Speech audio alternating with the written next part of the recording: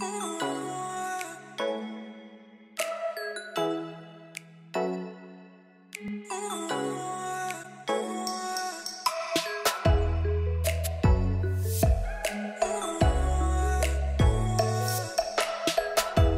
everyone, I am so excited to share the new sub series under Traipsin' Global on Wheels podcast hour with you. So, this new series is called Environmental Issues from a Disability Lens, and we launched it today. And our very first guest is Erik Solheim. So, Erik Solheim is a well known global leader on environment and development, as well as an experienced peace negotiator. He served as a Norwegian Minister of Environment and International Development from 2005 to 2012. Erik has been the chair of the OECD Development Assistance Committee, the main body of the world donors, as well as executive director of the UN Environment. He led the peace efforts in Sri Lanka, Myanmar, and Sudan. Currently, he is Senior Advisor at the World Resource Institute and Governor of the Global Coalition for Green Belt and Road, and serves as the CEO of Plastic Revolution Foundation. So, without further ado, let's listen in on that conversation with Erik Solheim. Erik Solheim, welcome to the Traipsin' Global on Wheels podcast hour. Thank you so much. It's such an honor to be asked to participate. Of course, I know you have such a busy schedule, so it's such an honor to have you join us. So, my co host, I see G. Mishner has joined us. Um, Jean, do you want to do a self introduction, your name, where you're joining us from today? Yeah, sure. Uh, hi, Rick and me. Uh, glad to be with you today. It's a real pleasure to talk to you um, today, uh, which is actually my night because I'm in Melbourne, uh, in Australia. So uh, it's uh, oh. towards midnight, but uh, as you can see, I've taken a nice screenshot of, uh, of the city that I'm calling from. Uh, wonderful Melbourne. Uh, and uh, yeah, it's again just um, a real pleasure to talk to you. So, um, brief, a brief background I work in a technology company. we're doing things to try and make the world a paperless experience. So, taking paper away from um, your day to day work needs or um, any type of other design requirements. Uh, so we're, we're trying to do our little bit um, professionally, and obviously I'll do my best uh, personally. Uh, but it would be really amazing to hear how you go about that at such uh, high levels uh, in the world. Um, I'm really looking forward to what you have to tell us today. Melbourne is a great city. I haven't been there, but I know it's a great city. So good, good to see the skyline behind you. It's beautiful. You'd be very welcome to come. Thank you. And so I wanted to kick off the first question with we'll just start straight away, if that's okay with you. Sure. Um, so, why do you think environmental issues such as climate change has become such a politicized and polarized issue? Um, what is the underpinning of this phenomenon in many countries around the world? First of all, there is absolutely zero reason it should be that way because environment is not socialist or conservative or liberal. Uh, it's nothing like that. I mean, environment is about the future of humankind, and it's a future, the future of Donald Trump, Xi Jinping, you and me, the future of everyone. So there's absolutely no reason why it should be like that. The move from, say, coal energy into solar energy is largely beneficial for everyone, whether on the right or left wing of politics. So it's it's a pity it has been uh, it has come that way, and we should do everything we could uh, to uh, kind of resettle that situation. There may be a few people who benefit from creating these disturbances and these quarrels, but for most humans, this is just uh, just negative. We, we should get out of it. Mm-hmm. Yeah, thank you. And then the second question is uh, the second question is related to that, which is how can we depoliticize environmental issues um, such as climate change in, poli- in politics um, from countries all over? Because it really shouldn't be a uh, partisan issue in the first place. No, and please remind yourself that environmentalism in the beginning was a conservative cause. It was the labor movement and the left who kind of challenged the environment and wanted to move very fast into industries and to create pollution, while conservative forces in the UK wanted to care of their uh, the entities, the farms, uh, uh, and nature. So it, it, historically was a conservative cause, and now it has been turned into a battle for absolutely no reasons. Uh, and I think the way out of this is to focus on what what, what can uni, unify us, because protecting tigers or elephants uh, or the beauty of the Rocky Mountains or the beauty of the deserts of, of uh, um, Australia who can be against that? No one is. So it's just about finding the right methods to, doing this, protecting us against dangerous climate change, getting out of the pollution. If you go to the great Indian cities, Delhi or Mumbai, everyone is suffering from the pollution. Rich people and poor people, people on the left side, on the right side, whether with the conservative uh, part of the BJP or with the, with the more center part of the Congress, they're all suffering from pollution, all want to get out of this. So we, we simply need to uh, kind of re, re change the con uh, conversation into what, what, what unifies us and environment should be a great unifier and not, not a, a way of splitting people. I think the way to create unity is to focus on the win-win-win policies. All those policy options which are good for Mother Earth and the environment, good for jobs and prosperity, and good for people and health at the same time. There are so many such. I mean, if we move from a very big focus on on uh, coal or, or um, uh, fossil fuels into wind and uh, solar and clean powers, well, it's good for our health, it's good for Mother Earth, but it's also creating many more jobs. Uh, the same if you move into a more sustainable tourism. Tourism can be a great vehicle to take care of environment and, and the beauty of, of, of Mother Earth and it can be done in an environment sustainable fashion. And it's one of the biggest job creators on planet Earth because it, it, it, takes any number of people to staff just a small hotel or restaurant. While of course you can you can create a big factory producing uh, automobiles basically by robots, but no hotel can work just with robots. So tourism creates any number of jobs. So focusing on all those solutions, which are win-win-win, good for environment, good for economy, and good for health and people at the same time. There's so many such available. Mm-hmm, yeah. No, that's great. Thank you so much. And next, I want to uh, get into disability advocacy. You shared with me in one of our first emails that you worked for a disability advocacy organization. And mm-hmm. uh, so I was delighted to hear that. So, can you share with us what prompted you to pursue that kind of work and, and stay with it for two years? Well, this this was my first actual job outside the politics. I've been engaged with the political movements for, for all my youth. And then I wanted to do some real job. Uh, and I worked for the Norwegian Association of the, on the Handicapped or the Disabled, which is the main organization for the physically disabled. It's not uh, organizing mentally disabled or, or blind or, or, other groups of handicaps, but all, all the physical handicapped. And we were running a number of projects uh, with African nations to establish sister organization, help African organizations of the disabled, and to run fact uh, workshops producing wheelchairs or, or, workshops simply with the aim of, uh, of create, create, creating job opportunities for disabled people. So it was a great learning curve for me. Yeah, so in that position at the, Norwe- the Norwegian Association of the Disabled, correct?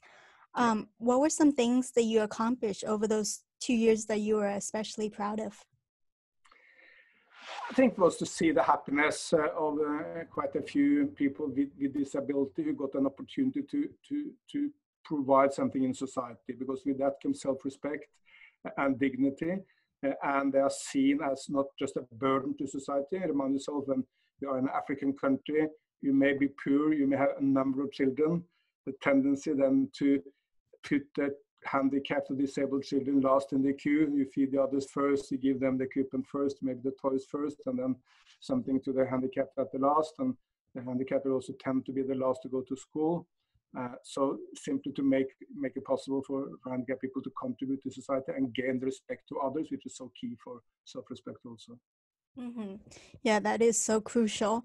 And uh, yeah, having uh, I grew up in a in uh, orphanage in China, so I know that how crucial a wheelchair is for Mm. uh, people with disabilities, especially um, as you were saying, um, you know, toys and other things are donated, but then uh, people, kids with disabilities are often forgotten, and and the resources that are needed are also forgotten as well. So that's really important work.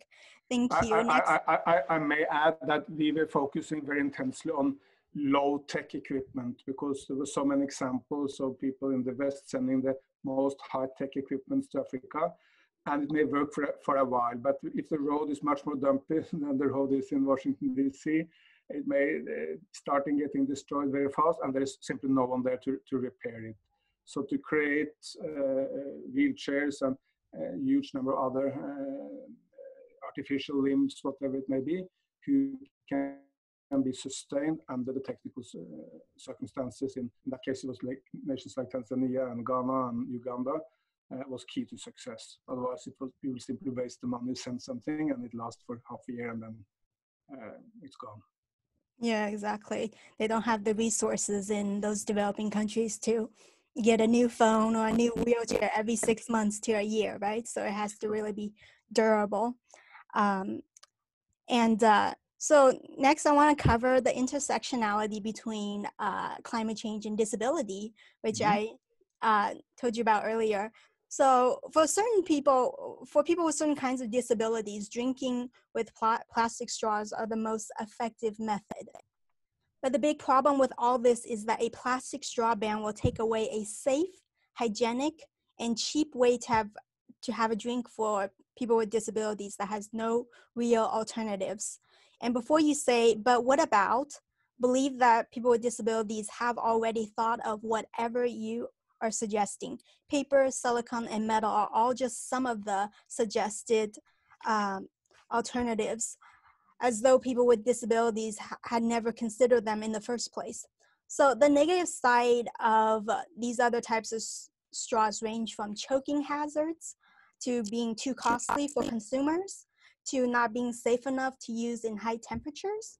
Um, instead of coming up with harmful harmful actions for the for the disability community, such as banning single-use straw, plastic straws all across the board, or declaring as- asthma inhalers are in dam- damaging to the environment, how do we include people with disabilities in all environmental discussions so that we can understand the needs of all groups uh, involved and reduce the use of plastic reduce the use of plastics in, intelligently so, after all, I'm sure you know, people with disabilities are 20% of the world's population, making us one of the largest, if not the largest, minority group in the world. No, absolutely. I mean, the key is basically brought forward by the uh, person asking this question, him or herself, because that's to include people in the discussion so that their needs can be taken uh, in, in, into account. And true, I mean, I'm sure that very, rarely uh, the need of a small group of disabled, in, in this case, is taking into the discussion about uh, plastics. But of course, the wide, vast majority of disabled themselves don't need straws. Uh, it's people with some specific disabilities. But I tend to take the view that as you're not providing hearing aids for everyone, you're providing hearing aids for those with hearing disabilities, providing contact lenses for people like myself who, who, need that.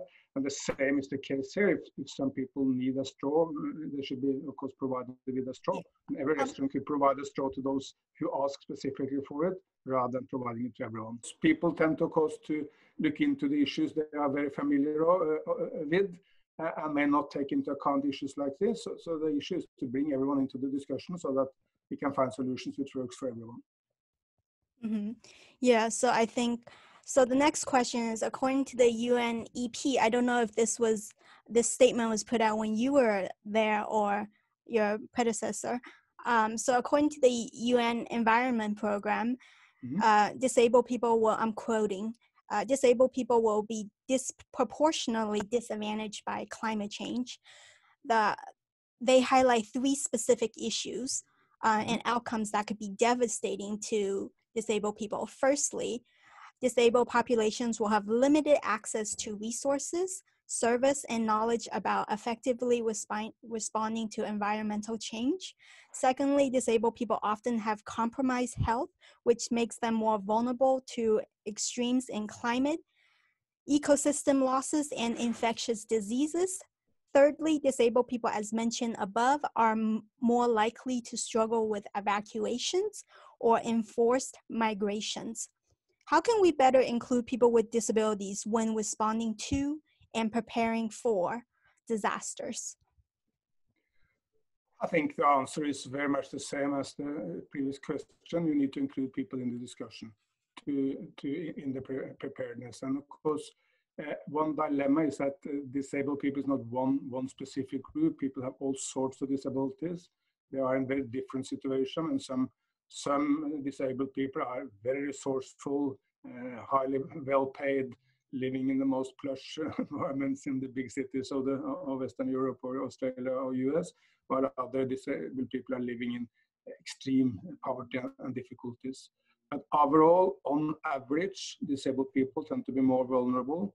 They tend also to be a little bit poorer because they have less ability in many cases to provide an income. And of course, they may have difficulties moving fast if there is a situation of evacuation, and they may have more so-called underlying uh, conditions which may make it make it difficult. So while there are so many varieties of this, uh, yes, disabled people are in a, a, particularly vulnerable situation towards climate change, and their voice need to be heard loudly in the discussion.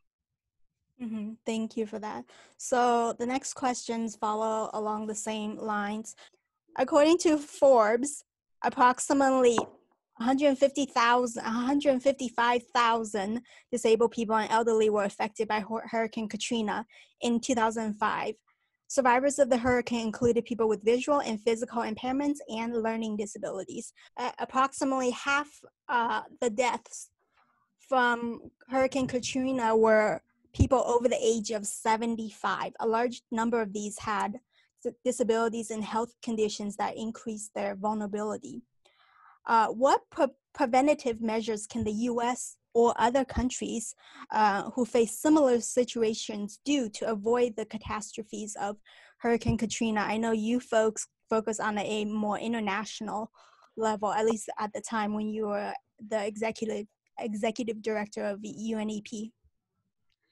I think a key role is uh, the kind of philosophic, philosophical underpinning. Uh, we should help everyone we should help everyone, even if they are severely disabled, even if they have huge difficulties, even if they are very old. Uh, some of the most disturbing voices I've heard during the COVID-19 epidemic is those people saying that does it really matter if a 75-year-old person dies? Yes, it, it matters. I mean, if a 75-year-old person is sailing outside the coast of the US and uh, get into a storm, we send all sorts of resources to try to to salvage that person. Uh, if a 80 year old person is in tra- trouble in the traffic, again, we will do everything to, to help them or her. Uh, a 70, 75 year old person in most developed nations, as well as in places in China, will on average have 20 years more to live. These 20 years could be years of low, uh, amazing experiences, achievements. Uh, so we should do everything we can to provide for everyone whatever age, whatever disability, whatever condition. Mm-hmm. Yeah. Okay. Thank. Thank you. Um, uh, so the last question under this category is about the mm-hmm. bushfires in Australia. So during the recent bushfires in in Australia, it became apparent that disabled people were the most vulnerable in emergency situations, as people affected by uh, by the bushfires were urged to enact their fire plan, the needs of disabled people were not considered. Needs such as access, accessible eva- evacuation centers, transport for, for the individual, and any essential essential equipment they need to manage their impairment and health conditions, information and formats that they can read and, and understand, especially for the deaf community and related. For example, communication tools um, for deaf, as I was saying, and visually impaired. So again, who and what actions needs to be taken to mitigate these problems and prevent these perfectly avoidable deaths if we plan ahead of time. Granted, we need to plan uh, much much more ahead of time as a lot of these things mm-hmm. require a lot of time just like evacuation centers you know the structures infrastructures need a lot of time to um, assess and see what's possible in the midst of the situation we need to enforce the view that everyone is valuable everyone should be helped everyone should be saved uh, so that that's very clear but then of course you need to prepare and then need to prepare in particular for those most vulnerable. Uh, the older people are, the more likely they are to have different sorts of handicaps. So old age and handicap is also coming together to some extent. But you need to bring the different associations of disabled into the um, to the conversation, representatives of disabled, because what's right for deaf people or for blind people or for people with physical handicaps or mental handicaps is not necessarily the same. so you need to prepare for a wide, variety of, different issues. And only way to do that properly is to bring those closest to the issue into the discussion at an early stage. Mm-hmm. Yeah. Um, so next, we're going to jump onto more general climate change questions. Okay. Mm-hmm. Um, yep. So, what are some of the what were some of the biggest consequences, or what are some of the biggest consequences of the U.S pull, pulling out of the uh, Paris Climate Agreement for the rest of the world and also for the US itself? Fortunately, the consequences, at least in the short run, is much less than people think because it's the president of the United States taking the US as a country out of the climate talks, while so much is simply continuing in the US. States like California, New York, and many other states are moving well ahead business is moving ahead. There was, remind yourself, was not one big company in the US which raised its hand and said, oh, we agree with the president in, on this. Every company of any significance said, no, we disagree with this. We want to take climate action. Look at a huge company like Microsoft just said that not only we will be carbon negative by 2030, which is in itself great, but they will even compensate for all emissions during the 50 years of existence of Microsoft. Uh, uh, uh, it's, it's huge, and of course Microsoft in itself is much bigger than many small nations in the world. It is one of the 10 biggest companies, but the emissions of Microsoft is much, much bigger than an average small nation in, in the world. And that's just one company. President Trump is all, all days, every year, speaking about, about uh, the benefits of coal but is not able to convince any investor to invest in coal. All investors believe that the future is in solar and wind. In the midst of COVID-19, even the Trump administration had to accept the biggest solar plant ever anticipated in the United States. It's just outside Las Vegas. Provide electricity to those working in the gambling halls of Las Vegas. Uh, and it's a huge solar entity. Why is this? Well, the investors believe in solar no one is ready to put the money in the declining industry of coal. So uh, you have seen now even the United States doing better than anticipated than the Obama administration when it comes to the move into green uh, ele electricity, simply because the market forces is taking the lead rather than the president. Hopefully we'll get a president uh, in after November who will take climate change seriously but even without efforts from climate change, fortunately, a lot of positive is happening in the United States of America. And of course, with China, India, Europe, uh, we can provide a global leadership which can take the issue forward. Mm-hmm. Yeah, hopefully.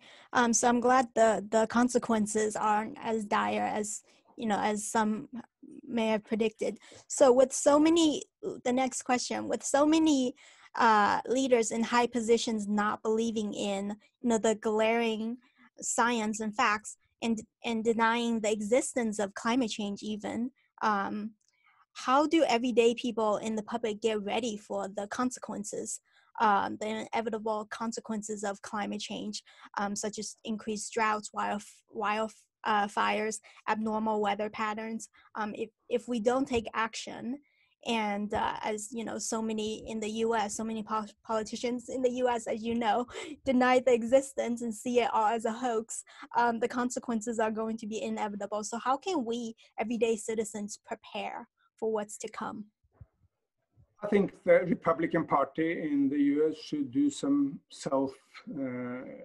ransacking their history. I mean, it was Richard Nixon conservative, Republican, anti-communist president who established uh, the Environment Protection Agency. It was Ronald Reagan who signed the Montreal Protocol uh, to stop the enormously dangerous uh, destruction of the ozone layer.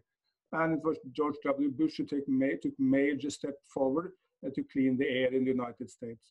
So up to very recent, and John McCain, by the way, a great leader of the Republican Party, was a strong climate activist. So the Republican Party has a long green history. It was Theodore Roosevelt who established the national park system in the United States. So why don't the Republican Party go back to its history and find these green roots and start putting water to these roots? So this is simply zero reason why a conservative American should oppose what is dear to the children and grandchildren, which is the enormous beauty of America and the safety of its people. Mm-hmm.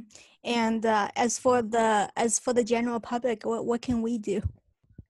Yeah, that's of course the danger when a few political leaders. I mean, let's not, let's not exaggerate because I'm not aware of more than two significant global leaders. That's President Trump and President Bolsonaro of Brazil. Those are the two only global leaders of any significance who deny the seriousness of climate change. All the others, President Xi of China, Prime Minister Modi of India, European leaders like Merkel, um, Macron, uh, Boris Johnson in the UK, Putin, they all accept that climate change is a real issue. The real problem is not those two who don't believe in this. The real problem is that the rest of us are not acting fast enough. I think we all know the direction we need to go, but we need to go much faster. And the key to achieve that is to look into all these win-win propositions, which are good for the economy, uh, providing jobs, while good for the environment at, at the same time. And they're all available uh, and they're happening now also.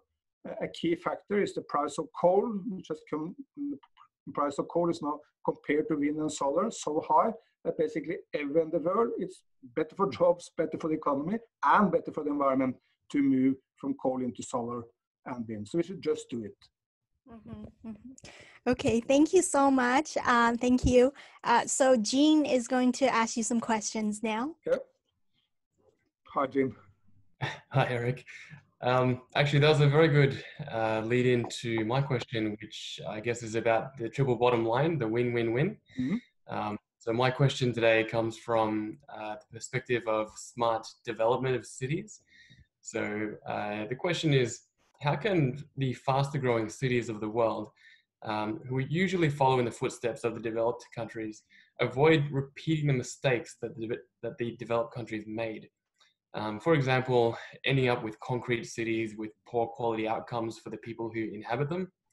Uh, examples uh, could include uh, LA, Dubai, and even Melbourne. Um, Melbourne has a lot of skyscrapers which have a lot of glazing facing the sun uh, without much um, proper uh, or, or effective uh, solar protection. Um, apart from that, there's also issues with design such as uh, steps and staircases without ramps, um, heat islands, uh, car dependency, flooding risk, high density living, and the general lack of family services like schools, hospitals, um, and other marketplaces. Um, of course, the, the opposite, uh, which we would want to see in a, in a smart developing city, uh, of course, are the ramps uh, for uh, better access, uh, a 20 minute walking city, improved air quality, low crime, good laneway culture, especially like Melbourne. That's what we really value in, in our city, like the cafes and being able to just walk around and enjoy the city. So, how can we encourage the developing nations to follow the good instead of ending up with just a, a copy and paste of the bad?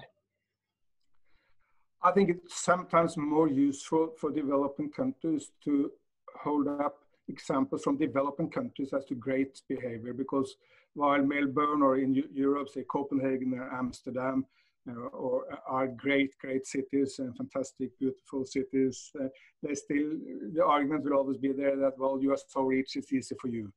Let me uh, speak about two developing country cities. One was Singapore, which now is uh, true, a very rich city, that was remarkable with Singapore is that they started taking environment action, when the city was very poor. They started establishing a public transit system, which is brilliant.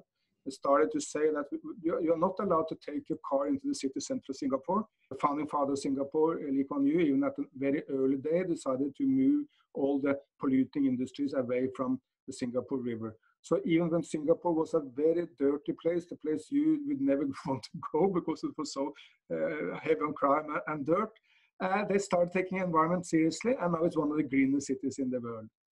And then move on to, uh, to another very green city, which is Shenzhen, the model city in, in southern China.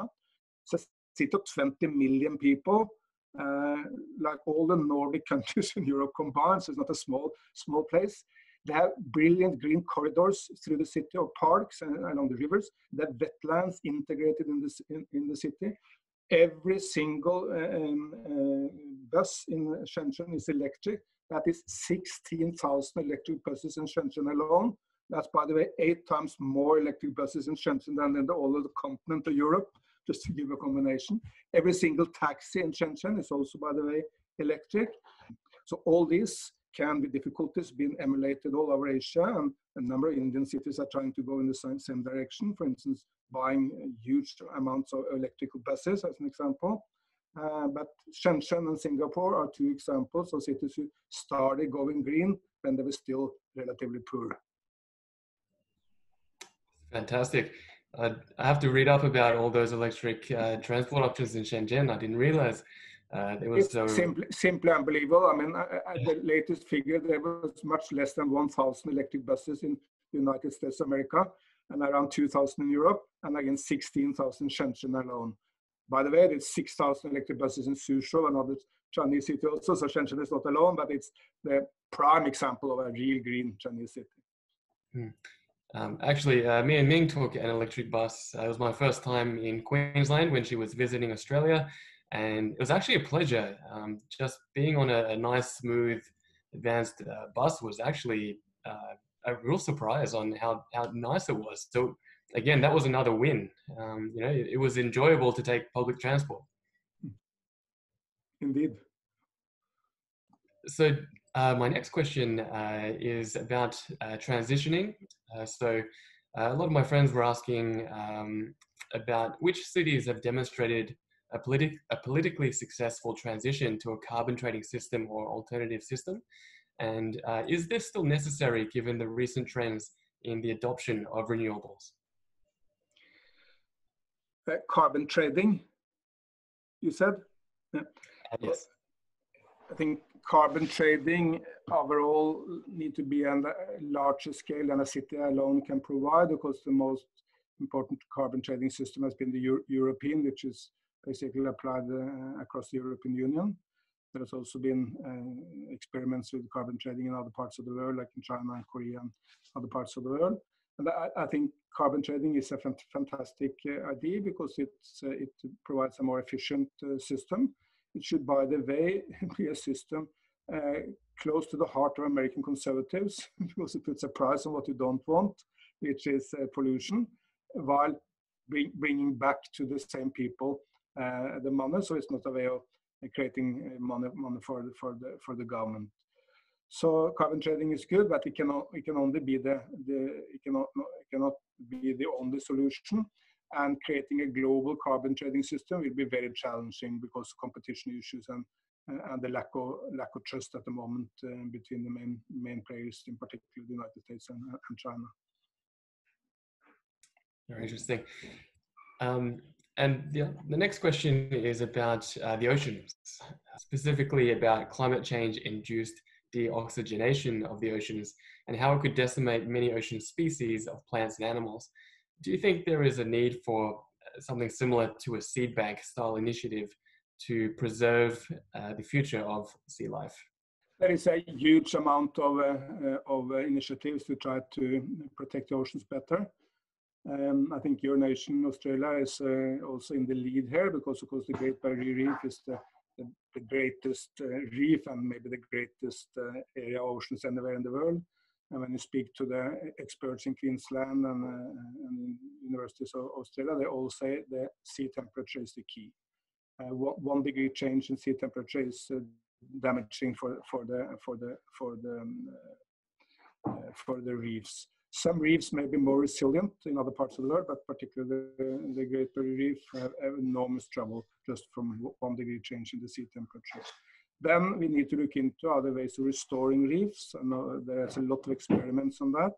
So far, they have been mainly successful in small scale. But we really need to look into whether there are ways by, by, by providing seeds um, uh, and other ways to, to restore reefs at, at, scale. And overfishing is another main threat to oceans. Uh, so we need to protect oceans and pollution. Plastic pollution is a new big threat, which we didn't really realize until a few years back. I mean, uh, turtles, whales, uh, seabirds are eating a lot of plastic and it, it's very destructive to their digesting system and many, many die from uh, horrible deaths. I mean, there was a whale in Thailand uh, earlier this year. It, it, it, was vomiting plastic bags while, while succumbing. Uh, it was so disgusting to see. Yeah, we certainly have a lot of uh, work to protect the future of our oceans. So yeah, um, so I have a couple more climate change related questions, and then we'll move on to other topics. Erik, um, so as you know, the youth, the young population, are very passionate about this issue.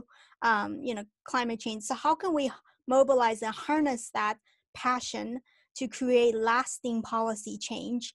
um, at the local, national, international levels? I think young young people is in the forefront on the climate struggle for the very obvious reason. I mean, most of the I mean, while climate change is here and now, I mean, we had huge bush, bushfires in Australia earlier this year, which is partly caused by, by climate change as an example. So it's a here now issue, but of course the main impacts of climate change will be later, and people would, could expect to live to the end of the 21st century will of course be much more impacted by climate change. So that's why people are so uh, so much concerned. But at the end of the day, it should be an issue for everyone. Older people have children and grandchildren, uh, and young people will be there to, to see it. So we need to mobilize everyone and to make major impact. Again, triple win solutions are more likely to take fire because they provide a better livelihood here and now, while uh, and the prosperity people need remember that still many people, or most, I mean, many people are very poor on the planet, and most people are not very rich. Uh, so we need also to take care of people's economy. But the good news is we, we can do that and uh, attack climate change at the same time. Mm-hmm. And so, uh, with uh, policymakers, and especially you know, as a UNEP ED member, executive director member, um, how how do we um, use that power that the passion the youth has right now to to their advantage to the politicians advantage to un appointees advantage um, to create systemic uh, change I believe the environment movement should change a little bit. It's sometimes too dull, sometimes too pessimistic, focusing on all the problems by and large, people know that the situation is dire and that they need to change. So uh, that's not the need to repeat that over and over again. What's really the need of the hour is the optimistic message. Here is what we can do to get out of the problems. And please follow me to get out of the problems, to get into the new technologies, to create the business opportunities, to put the pressure on the political leaders so that they act much more uh, convincingly. Mm-hmm. We cannot we cannot bore people into action, and nor can we scare them into action. We are much more likely to inspire them into action. Mm-hmm. Um, and you are an optimist, as we all know. Um, mm-hmm. And uh, I think you need to convince Jean into the group as well. I'm an mm-hmm. optimist as well. Mm-hmm. Um, so you once wrote, Our planet is vulnerable, but I'm optimistic we can resolve the environmental problems we face there's little we can't achieve. I'm quoting you, of course. Um, there's little we can't achieve when we pull together with cooperation, collaboration, and a can do attitude. Unquote. So, what currently existing scientific facts make you come to this conclusion and be so optimistic about the future? The main cause of my optimism is my interest in history because I've seen so many examples of how we create great movements to change society. When you can look to the, the biggest ones, say in the United States of America, slavery was normal in the US, it was normal all over the world. Then a few people start picking up the fight, and one astonishing leader, Abraham Lincoln, decided and, and fought the fight to the end. And today, to the, now that there's no legal slavery anywhere in the world. And the, even the small things are relatively small. I mean, 15 years back, smoking was allowed basically in every single restaurant on planet Earth. Now, wherever you go, we have a huge difficulty finding one restaurant where you're allowed to smoke. Why was that? Well, a small European country called Ireland decided we want to wipe out sm- smoking in restaurants in Ireland. The time the brewery industry said we will go broke if this happened. The restaurant said, no, no, no, it can never, can never happen. No one will come to visit a restaurant if you're not allowed to smoke. Well, they did it, and none of these uh, doomsayers were proven right. And uh, by the inspiring example of Ireland, everyone else has followed and you, even in the deepest of the jungles, fur, furthest out in the deserts or in the most dark corners or in the big cities on city in the world, they're not allowed to smoke any longer. It's taken 15 years. Mm-hmm. Yeah, no, those are those are all such great examples for um, something that could improvements that could happen into the future and on environmental issues as well. Mm-hmm. Thank you for that really thoughtful response. And thank you for giving us a whole hour, a little over an hour actually. I know you're a busy man, a senior advisor, a governor, a CEO, and and another form of an advisor. So I don't know how you can get any busier. Um, but thank you so much for still making time for our podcast. Um, I really appreciate it, Erik Solheim. Thank you so much. Great to be with you and enjoy the morning in Washington and the evening in Melbourne. And afternoon in Oslo, Oslo. Norway. Yep. The whole day represented. That's true. Did you like this video? If so, share with your friends and be sure to follow us on social media. And if you want even more resources, be sure to sign up for our email updates on our website, traipsingglobal.com. Keep learning new perspectives, keep being inclusive because it will make the world a better place for you and for everyone else. Thank you so much for watching, and I'll catch you on another episode of the Traipsin' Global on Wheels podcast hour.